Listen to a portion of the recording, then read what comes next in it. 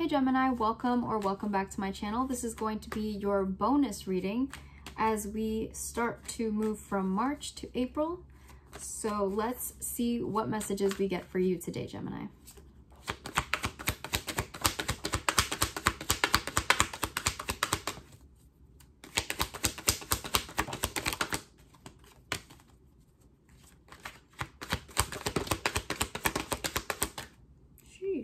Okay.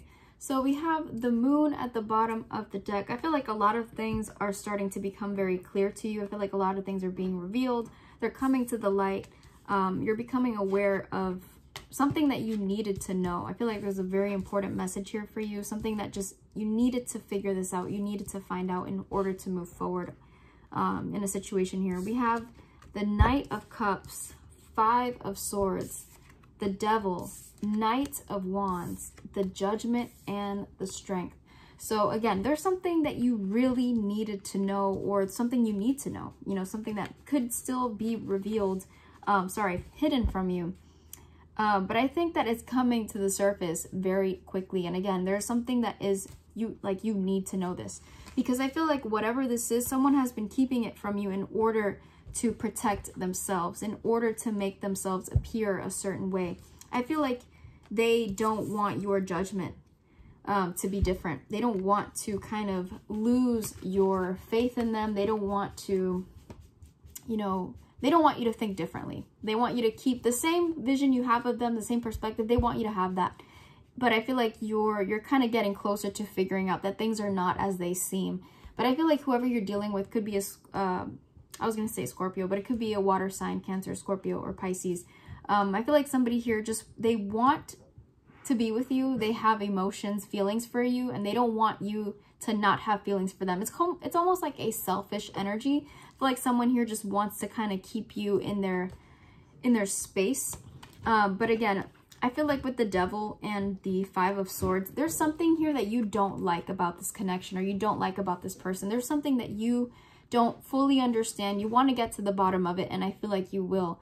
Um, there's a, a certain habit, pattern, behavior that they do that kind of always makes you want to fight them. It's, it's like you you you deal with them or like you talk to them and then you you see that that toxic thing that they do and then it just makes you kind of get angry and now you have an argument and then there's a misunderstanding or miscommunication so i feel like you're trying to understand um, how to get over that but again i also feel like this is something that you're not overlooking anymore I feel like there was a red flag that you just kept kind of brushing over, giving them the benefit of the doubt. You know, you were pretending like it wasn't there. And I feel like now it's almost like the universe is like, how much more are you going to keep this from yourself? How much more are you going to deny this? You know, you can't be in denial forever. So I think that with the Knight of Wands and the Strength card, I feel like this is saying you have to be um, just as willing as you were to turn a blind eye to this person, you have to be strong to kind of see the truth for what it is. And I think that this is coming through in this fiery Knight of Wands energy where it's like you have to be honest with yourself. And yes, it might require you to be brave or, you know, see this from a different perspective, but it's necessary. It's necessary for change. If things, if you want to see things move in a different direction, you have to see it for what it is. Uh, but right now, I feel like you're you're coming to the realization that things are not as they seem.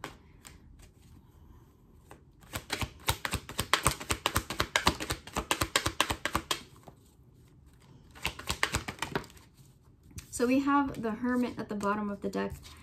Um, again, there's this energy, this message of something being hidden. It's almost like this, this truth is coming out like slowly but surely but it's right there. It's like you, you have it right in front of you, but it's like you don't see it. You don't see it clearly, but I feel like you're going to come out of this not knowing to the knowing very, very, very soon.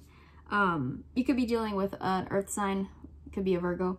Um, we also have the Two of Cups, the King of Pentacles, the World, and the Seven of Wands with the Tower and the Eight of Wands at the bottom of the deck. To me, this is saying that they're going to tell you there's going to be a, an event here, a moment, a tower moment where you communicate with this person, you get to the bottom of it, you find out finally what it is you need to know.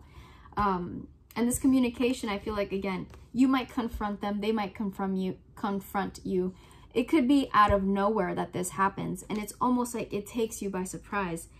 But at the same time, with the Seven of Wands and the King of Pentacles, this is key to your stability. Because I feel like right now, you're on the defensive. You, you have to stand up for yourself in the situation. Because I feel like you are working hard on your stability. You're working hard on keeping yourself, you know, like maybe you're keeping yourself mentally stable, uh, but you're also working on your finances. And so you have too much on the line, too much to think about.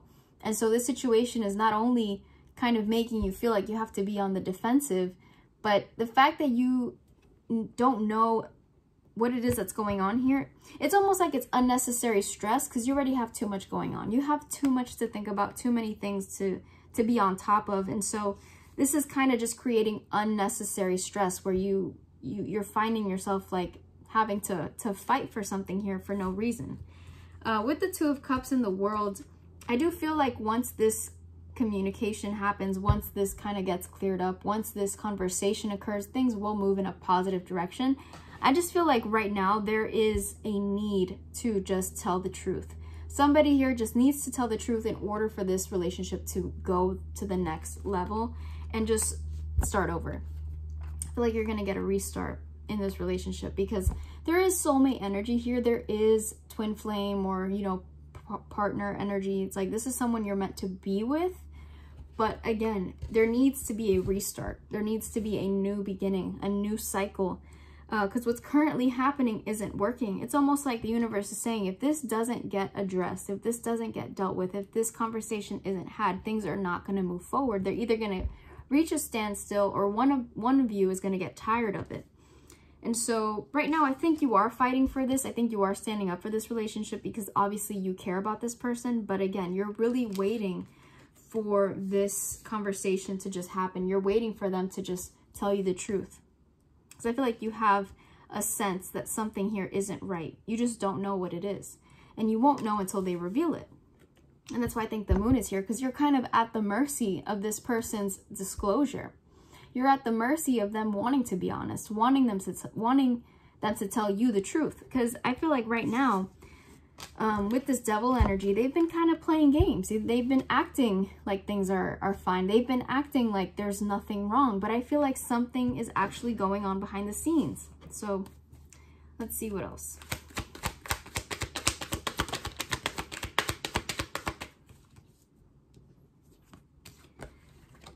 All right, so we do have the star at the bottom of the deck. So um, you could be dealing with an Aquarius, or really this is saying that there is hope there is hope for things to change. Things will get better.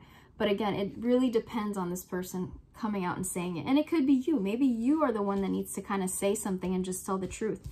Um, with the Nine of Cups and the, the Ten of Wands, I feel like someone here has a lot going on with themselves personally. They're fighting personal battles. They have a lot on their plate. There's a lot that they're holding um, by themselves. And I think it's because they have a little bit of pride or a little bit of an ego where it's like they feel like no one else can help them with their problems. Someone here is really stubborn, hard-headed.